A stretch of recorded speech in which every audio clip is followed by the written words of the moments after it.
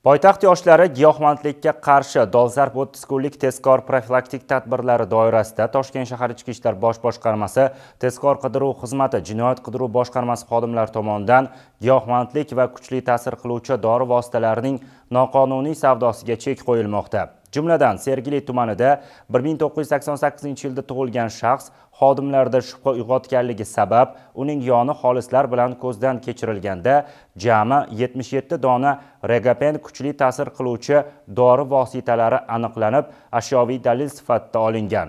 Surishtiruv ishlari davomida aniqlanishicha, gumonlanuvchi Telegram ijtimoiy tarmog'i orqali noma'lum shaxs bilan kelishib, kuchli ta'sir qiluvchi dori vositalarini zakladka ko'rinishida tarqatmoqchi bo'lgan va har bir ishi uchun 5 dollar olishi kerak bo'lgan. Navbatdagi tezkor tadbir Chilonzor tumanida o'tkazildi. Toshkent shahar ichki ishlar bosh boshqarmasi tezkor qidiruv xizmati, Jinoyat qidiruv boshqarmasi va Chilonzor tumani ichki ishlar organlari faoliyatini muvofiqlashtirish boshqarmasi xodimlari 1988-yilda tug'ilgan muqaddam O'zbekiston Respublikasi Jinoyat kodeksining 273-moddasi 5-qismi bilan sudlangan shaxsni o'zini shubhali tutgani uchun xolislar ishtirokida ko'zdan kechirishadi.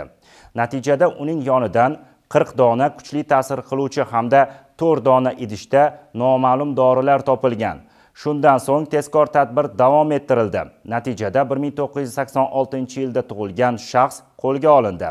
Uning oldidan 120 dona Regapen, 79 dona Zardex kuchli ta'sir qiluvchi dori vositalari topildi va ashyoviy dalil sifatida olindi. Mazkur holatlar yuzasidan olingan dori vositalari ekspertizaga topshirildi. Natijasiga ko'ra qonuniy qaror qabul qilinadi.